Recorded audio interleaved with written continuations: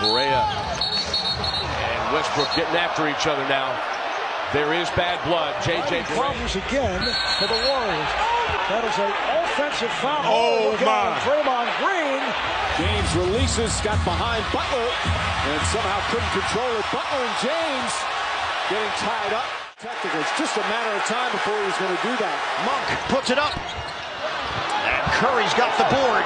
Green gets tied up. And Grant Williams three.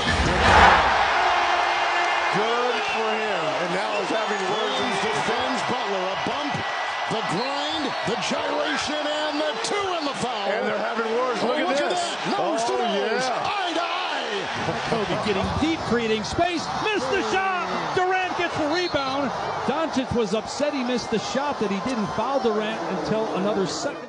And now Durant will shoot free throws at Devin Booker.